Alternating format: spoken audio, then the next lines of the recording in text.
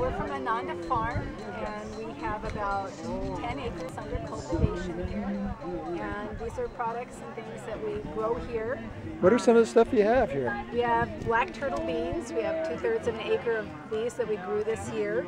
So that's like black beans you, you Black beans, they're Perfect. delicious. Wow, We've got dried herbs, oregano and basil. sweet. We have tomatoes. Um, they're sliced and dried. We have powdered dried tomatoes. We have marinated Wow. dried tomatoes. And we've got blackberry jam. Blackberries provided by Mother Nature herself. They grow wild here.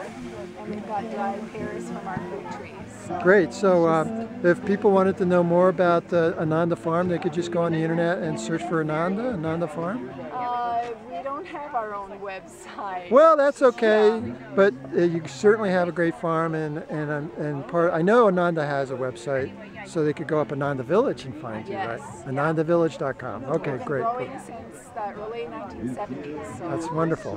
And what do we have over here? Hi, I'm Margaret, and we have some Ananda Farm apples. They've been used to make these baby pies. Perfect size for now or for later.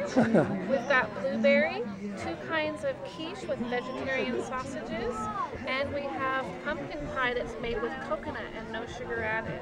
Wow. And there's all these handmade things with recirculated pop tops.